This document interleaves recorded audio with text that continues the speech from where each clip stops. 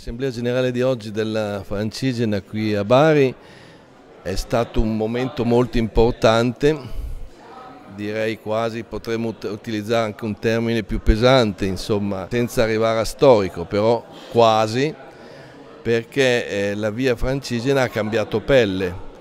Era semplicemente la via di Sigerico da Canterbury a Roma, e oggi è diventata la via per Roma, la via per Gerusalemme, la via per Santiago di Compostela, quindi abbiamo un allargamento geografico, dai 2000 km di prima diventiamo tre, ma soprattutto guardiamo in varie direzioni, dove la, dove la Puglia assume un ruolo baricentrico importante, quindi è una responsabilità grossa, ma anche una nostra responsabilità. Noi con questo con questa azione abbiamo, pensiamo di rendere più attrattiva, più importante la via francigena, quindi non ci sarà meno gente che viene, ma ci sarà più gente che viene perché siamo in questo quadro più ampio, unisce di più l'Europa questa nostra azione e quindi insomma va assolutamente approvata. La Puglia e il Mezzogiorno si ricongiungono all'Europa grazie alla via francigena voglio esagerare, ma stiamo parlando di un momento importante di riscatto del mezzogiorno, di un mezzogiorno diverso, che non si piange addosso, che si rimbocca le maniche, che fa il suo dovere, che si eh, impegna in una logica condivisa con le altre regioni del sud e con le altre regioni della Francigena del nord Italia e del nord Europa.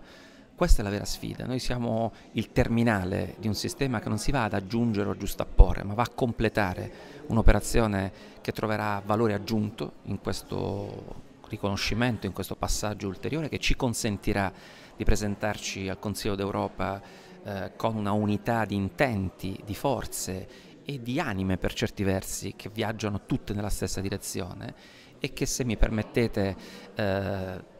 va nella direzione di evitare l'isolamento del sud. Ci siamo detti tante volte che l'Italia riparte se si risolve la questione meridionale. In qualche modo la Francigena rappresenta un modello, una strada, un indicatore da questo punto di vista. Il ricongiungimento a un sud che se si mette in marcia, se si mette in cammino, consente all'intero paese di rimettersi in cammino in Europa e consente anche di restituire all'Europa quel senso di identità, di fraternità, di comunità che gli eventi che stiamo attraversando sembrano invece voler rompere e che invece al fondo, ritornando alle origini, ritornando alle radici, ha un senso talmente profondo e talmente unitario che alternative non ce ne sono. Il tutto, come abbiamo detto, dove l'Euca,